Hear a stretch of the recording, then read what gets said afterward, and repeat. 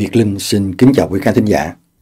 Xin chào mừng quý vị đến với chương trình bình luận hàng ngày từ thứ hai đến thứ sáu và chủ nhật của Đài truyền hình Việt Nam. Hôm nay là thứ sáu 15 tây tháng 3 năm 2024. Chương trình bình luận hôm nay sẽ có hai video và ra mắt mỗi video cách nhau khoảng một tiếng. Trong video một của hôm nay, Việt Linh có hai bài bình luận xin gửi đến quý vị thính giả. Chúng ta bắt đầu với bài bình luận đầu tiên với nhan đề Donald Trump, kẻ thua cuộc, tên tội phạm đang quay trở lại. Kính thưa quý vị, các cuộc tranh cử sơ bộ ngày siêu thứ ba đã mang lại một trong những khoảnh khắc đáng buồn, không mấy đẹp trong lịch sử bầu cử Hoa Kỳ qua việc xác nhận rằng Donald Trump sẽ một lần nữa trở thành ứng cử viên tổng thống của đảng Cộng Hòa. Ngọn lửa phẫn nộ trong thời đại Trump đã diễn ra không ngừng nghỉ trong 9 năm dối trá, hận thù, bôi nhọ, hành động sai trái, âm mưu và mỹ dân. Rất nhiều người trong chúng ta đã kiệt sức. Sự kiệt sức với những kẻ độc tài mỹ dân lại là mối đe dọa đối với nền Cộng Hòa. Có lẽ khó mà kìm được sự phẫn nộ. Trước thực tế là có hàng triệu người Mỹ đã bỏ phiếu để khôi phục quyền lực cho Trump sau khi ông ta âm mưu lật đổ một cuộc bầu cử và kích động bạo lực nổi dậy để lật đổ chính phủ. Sau khi ông ta bị luận tội hai lần, sau khi ông ta bị truy tố bốn lần vì âm mưu đảo chính, vì ăn cắp tài liệu mật của chính phủ, vì trả tiền im lặng cho một ngôi sao khiêu dâm để che đậy một vụ ngoại tình để không bị ảnh hưởng đến vấn đề tranh cử. Vì phạm tội gian lận dân sự, lừa đảo, vì tội tấn công tình dục và phỉ bán. Hàng đống tội trạng như vậy. Nhưng mà vẫn có hàng triệu người Mỹ sẵn sàng bỏ phiếu để đưa ông ta làm người đại diện cho đảng Cộng Hòa. Để ra tranh cử chức vụ tổng thống của Hoa Kỳ. Chuyện này nó không lạ sao được, quý vị. Khi mà tôi biết chắc chắn rằng ngoài trừ nước Mỹ thôi, thì không có quốc gia nào khác trên thế giới này có thể để tình trạng đáng buồn cười này xảy ra cả. Không quốc gia nào có thể chấp nhận một tên tội phạm nguy hiểm từng làm đảo chính để có thể tiếp tục ra tranh cử xúi dục người ủng hộ gây bạo loạn ở nơi quyền lực cao nhất của đất nước, gian lận bầu cử, dựng đại cử đi giả. Vậy mà vẫn có thể tiếp tục ngang nhiên được đưa ra tranh cử. Não trạng của nhiều người Mỹ dường như có vấn đề. Rõ ràng là nước Mỹ không ổn chút nào. Nhưng mà vấn đề khó hiểu số một của quốc gia này là hàng triệu người coi nó là việc chấp nhận được. Là việc bình thường. Nếu không muốn nói là mong muốn của họ. Quốc gia này đang tiến một bước lớn gần hơn tới việc đưa vào tòa bạch ốc một kẻ muốn trở thành một nhà độc tài. Một kẻ đã cố gắng hủy bỏ trật tự hiến pháp và là một kẻ đã công khai nói với trước người dân Mỹ rằng nếu đắc cử thì hắn ta sẽ tiến tới giành lấy quyền lực lớn hơn bằng cách tìm cách kiểm soát gần như toàn bộ nền công vụ. Ra lệnh cho Bộ Tư pháp tiến hành các cuộc điều tra hình sự đối với các kẻ thù chính trị của hắn ta. Và sử dụng đạo luật chống nổi dậy năm 1792, trao cho Tổng thống quyền lực không bị kiểm soát để khai triển quân đội Hoa Kỳ trên đường phố để chống lại sự phản đối trong nước. Việc Donald Trump vượt qua những tội trạng cao như núi và những phiên tòa đang chờ xét xử bằng hàng triệu lá phiếu để trở thành ứng viên chính thức đại diện cho đảng Cộng Hòa là điều thực sự gây khó hiểu đến phần còn lại của thế giới. Nhiều lãnh đạo thế giới cảm thấy bị hụt hẫng về một nước Mỹ đang mộng du giữa ban ngày để tiến tới chế độ chuyên quyền và sự thần phục vô điều kiện một cách trơ trẽn của cả một đảng chính trị bảo thủ lớn. chỉ vì một tên ái kỷ ác tính này. Phong trào bảo thủ truyền thống giờ đây đã trở thành giáo phái MAGA của Trump. Và các phương tiện truyền thông cánh hữu đã trở thành những người cổ vũ cho chiến dịch trả thù, chia rẽ, oán giận, hoang tưởng và cố chấp của ông ta. Nhưng mà may mắn vẫn còn. Đó là tất cả các lực lượng ủng hộ Trump chỉ chiếm thiểu số trong nước này. Hầu hết các đảng viên đảng Dân Chủ và nhiều đảng viên độc lập đều cảnh giác trước tất cả những điều này. Tuy nhiên, không có đủ nhiều người Mỹ biết nhận thức, quan tâm và lo lắng về mối nguy hiểm trước mắt. Và chính sự lơ là, xem thường đó có thể tạo điều kiện cho những kẻ độc tài vượt qua cánh cổng dân chủ. Kính thưa quý vị, đây là một khoảnh khắc lịch sử đáng xấu hổ của nước Mỹ. Khi mà chẳng có kẻ thù nào tấn công nước Mỹ, chẳng có đối thủ nào xâm nhập vào bên trong nước Mỹ để phá hoại. Mà là chính những người Mỹ đang sống ngay trong lòng nước Mỹ, lại sẵn sàng đang tâm phá hủy thành quả dân chủ của đất nước khi mà nó đã được 237 tuổi. Chương trình nghị sự tiếp theo của Trump sẽ phá hoại, nếu không muốn nói là sẽ làm nổ tung, tan nát cả các thể chế dân chủ và các biện pháp bảo vệ nó. Những cuộc tấn công của Trump vào nền Cộng Hòa có thể sẽ khó có thể hồi phục trở lại được trong một vài thế hệ. Tờ New York Times tuần này đưa ra một lý do để giải thích rằng nhiều cử tri đã quên đi những biến động trong những năm dưới thời Trump. Thời gian đã tẩy xóa những đau thương, mất mát mà Trump đã gây ra. Tờ báo viết như thế này quý vị. Trong 4 năm, kể từ những cuộc tấn công dữ dội hàng ngày vào các thể chế, hiến pháp của đất nước bởi Donald Trump, đã hoàn toàn phai nhạt, thay đổi và trong một số trường hợp đã bị bóp méo, tẩy xóa ký ức của người Mỹ về các sự kiện mà vào thời điểm trước đây nó đã khiến cho họ cảm thấy nhức nhối, đau khổ. Các cuộc thăm dò cho thấy quan điểm của cử tri về các chính sách bất nhất, tồi tệ của Trump và nhiệm kỳ tổng thống thất bại chia rẽ của ông ta đã phần nào được cải thiện nhờ vào thời gian. Và qua những phiên tòa, những cáo trạng khá lộn xộn, rắc rối, nhùng nhằn kéo dài, nên công chúng cũng quá quen thuộc, quá bình thường với những thủ tục tố tụng xoay vòng và cũng chẳng còn thiết tha tìm hiểu, mong chờ một kết quả. Bởi vì hầu như ai cũng đoán ra được kết quả sẽ như thế nào. Đó là chẳng có gì ồn ào xảy ra với Trump. Chuyện bình thường thôi mà. Chuyện nhỏ thôi mà.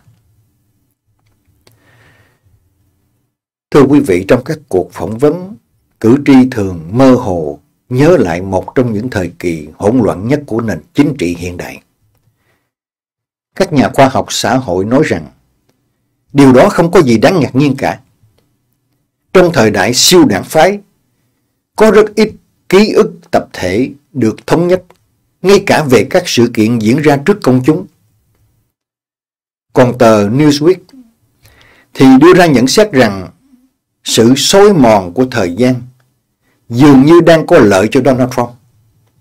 Khi các cử tri xoay chiều, ủng hộ dựa trên cảm xúc của họ về hiện tại chứ không phải về quá khứ. Đây là điều thực sự đáng lo ngại trước những sự kiện thảm khốc trong nhiệm kỳ tổng thống của Donald Trump. Bên cạnh kết cục là cuộc bạo loạn ở đồi Capitol, còn có một đại dịch khủng khiếp trong đó sự quản lý yếu kém của Trump đã dẫn đến cái chết có thể tránh được của hơn nửa triệu người Mỹ. Chỉ riêng điều này thôi là cũng đủ để khiến Trump bị loại rồi. Nhưng mà ngay cả thảm họa chết chóc khủng khiếp đó cũng bị tẩy xóa bởi thời gian. Nói rõ hơn, là thời gian. Thưa quý vị, chính thời gian đã giúp Donald Trump rất nhiều trong hơn nửa thế kỷ qua. với khoảng 4.000 vụ kiện thưa và những cáo trạng mới đây nhất cũng không ngoại lệ. Trump đã biết cách tận dụng thời gian để luồn lách và chạy thoát một cách hợp pháp. Tờ Newsweek đã liệt kê một số tình tiết đáng ghét về Donald Trump, mà giờ đây dường như nó đã bị lãng quên theo thời gian. Đoạn ghi âm Trump nói có thể túm lấy bộ phận sinh dục của phụ nữ của bất cứ ai mà ông ta muốn. Ca ngợi tình báo Nga, không tin CIA, FBI của Mỹ. Chê bai các nước châu Phi một cách thô tục khi gọi họ là các quốc gia hố phân. Tách trẻ em khỏi cha mẹ ở biên giới Mexico. Nói với trẻ em rằng ông già Noel không có thật. Ngỏ ý muốn thương lượng để mua Greenland. Đề xuất sử dụng vũ khí hạt nhân để ngăn chặn một cơn bão. Đe dọa cắt viện trợ Ukraine nếu Tổng thống nước này không điều tra gia đình Biden. Đề nghị bệnh nhân dính COVID-19 hãy tiêm thuốc tẩy rửa sàn nhà vào trong cơ thể. Và còn nhiều điều tệ hại nữa. Mà viết ra cho đủ thì nó cần nhiều thời gian lắm quý vị ơi. Cho nên không có gì đáng ngạc nhiên. Khi mà Trump bật đèn xanh cho Chủ tịch Trung Quốc Tập Cận Bình vì đã bỏ tù người Duy Ngô Nhĩ trong các trại tập trung. Trump hỗ trợ và tiếp tay cho hoạt động bí mật của Nga đã giúp bầu ông ta làm tổng thống năm 2016 và nỗ lực sau đó của ông ta là nhằm che đậy tất cả những điều đó bằng những tuyên bố sai lầm rằng đó là một trò lừa bịp. Và Trump luôn bảo vệ Putin một cách tuyệt đối trung thành. Trong bài phát biểu thông điệp liên bang được đánh giá là hay nhất lịch sử Hoa Kỳ của Tổng thống Joe Biden, ông đã chỉ trích Donald Trump về những khoảnh khắc tồi tệ nhất của ông ta đó là một ngày 6 tây tháng 1, đáng xấu hổ. Đó là cúi đầu trước Vladimir Putin. Đó là khoe khoang về việc đảo ngược được phán quyết vụ Roe kiện Wade. Chỉ mặt thẳng vào kẻ tệ hại và nói rằng ông ấy là một mối nguy hiểm cho nền dân chủ. Khi chúng ta đọc lại hai câu chuyện của New York Times và Newsweek, Tôi tự hỏi các tổ chức truyền thông khác phải chịu trách nhiệm ở mức độ nào về tất cả sự lãng quên này. Trong khi tờ New York Times, CNN, HuffPost, The Hill, Reuters và Newsweek thường đưa tin rõ ràng về những hành vi sai trái của Trump, những động cơ và kế hoạch độc đoán của ông ta, cũng như những mối đe dọa, thì nhiều tờ báo khác lại đăng tin về Trump như một chính trị gia truyền thống, như một ứng cử viên nổi bật, bình thường. Rõ ràng là họ đang có xu hướng bình thường hóa chính trị gia bất thường này. Có lẽ nhiều quý vị vẫn còn nhớ Donald Trump đã từng kêu gọi chấm dứt các điều khoản của hiến pháp Hoa Kỳ. Điều chỉnh các quy tắc bầu cử và ông ta phải được tuyên bố là người chiến thắng chính đáng của cuộc bầu cử năm 2020. Và vụ này chỉ có một vài tờ báo đăng tin. Còn lại phần nhiều thì im lặng. Đến nỗi có nhiều người không hề biết chút gì. Tuyên bố nguy hiểm và chưa từng có của Trump đã không được truyền thông coi là vấn đề lớn. Và điều này đặt ra một câu hỏi, thưa quý vị. Phải chăng là các hãng truyền thông lớn vẫn chưa tìm ra cách để đưa tin về chủ nghĩa cực đoan của Donald Trump. Và lời kết cho bài bình luận hôm nay kính thưa quý vị. Nói một cách công bằng, thì truyền thông không phải là nguyên nhân duy nhất khiến người Mỹ bị mất trí nhớ về Trump. Truyền thông cũng không phải là nguyên nhân duy nhất để tẩy xóa ký ức của nhiều người Mỹ về những điều tồi tệ của Trump mà nguyên nhân chính là sự kết hợp giữa việc làm tắc trách của con người và guồng máy thời gian vẫn cứ quay đều đi tới. Suy cho cùng thì bản chất con người chúng ta là như vậy. Nhiều người chúng ta không thể nào duy trì mãi trạng thái phẫn nộ và tức giận. Thời gian có thể làm mờ đi ký ức. Và trong một số trường hợp, thậm chí là quên hẳn tất cả. Nhưng mà các nhà báo, các công ty truyền thông lớn nhỏ, họ phải có nghĩa vụ duy trì sự tập trung vào những câu chuyện tồi tệ này. Họ phải lặp lại thường xuyên, phải nhắc nhở người Mỹ nhớ. Họ không được phép quên. Những sự kiện tồi tệ đã từng khiến đất nước này lao đao trong chia rẽ, mất mát. Và đất nước này đã từng suýt mất đi nền dân chủ 237 năm tuổi vào ngày 6 tây tháng 1 năm 2021. Nếu họ im lặng, lịch sử sẽ phán xét trách nhiệm lớn lao của họ. Nếu họ im lặng, sự trở lại của Trump sẽ khiến họ càng phải im lặng nhiều hơn bởi sự đàn áp truyền thông là cách mà một nhà nước chuyên quyền và một nhà độc tài cần thống trị thì họ sẽ thực hiện để nắm giữ quyền lực. Giờ đây, họ vẫn chưa bị buộc phải im lặng, thì họ phải cất tiếng nói mạnh mẽ hơn, thường xuyên hơn, nói thật to cho người dân cả nước biết rằng nước Mỹ đang không ổn chút nào. Nước Mỹ đang gặp nguy hiểm. Donald Trump, kẻ thua cuộc, đang quay trở lại. Và chúng ta bắt đầu với bài bình luận thứ hai vào cuối chương trình hôm nay, kính thưa quý vị. Với nhân đề Biden tặng Trump nickname mới, kẻ thua cuộc. Kính thưa quý vị, khi phát biểu trước những người ủng hộ ở Milwaukee, ở tiểu bang chiến trường quan trọng Wisconsin, Joe Biden, ứng viên tổng thống của đảng Dân Chủ đã lên tiếng chỉ trích kẻ thù đảng Cộng Hòa cực hữu của mình. Vì Trump đã từng mô tả những người nhập cư là sâu bọ tại tiểu bang này. Ngày 7 tây tháng 3 vừa qua, Tổng thống Biden đã có 13 lần nói về người tiền nhiệm của tôi, mà ông không hề nhắc đến tên Trump để không bị dơ miệng. Nhưng mà lần mới nhất này ở Wisconsin, Tổng thống Joe Biden đã tặng Trump một nickname mới. Ông vẫn không nhắc đến tên Trump, mà chỉ gọi là a loser, có nghĩa là kẻ thua cuộc. Hôm thứ Tư, trong chiến dịch tranh cử chiến trường đầu tiên của ông kể từ khi mà hai đối thủ giành được đề cử của đảng họ cho cuộc hứa hẹn sẽ là một trong những cuộc bầu cử khốc liệt nhất trong lịch sử Hoa Kỳ.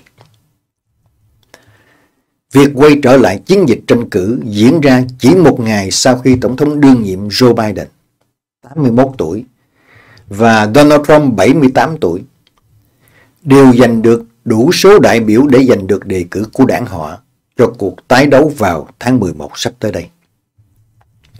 Tổng thống Biden nói với những người ủng hộ và tình nguyện viên địa phương ở Milwaukee, cùng thành phố nơi Trump và đảng của ông ta sẽ tổ chức đại hội toàn quốc của đảng Cộng Hòa vào tháng 7, rằng rất nhiều người các bạn đã giúp đỡ tôi vào năm 2020.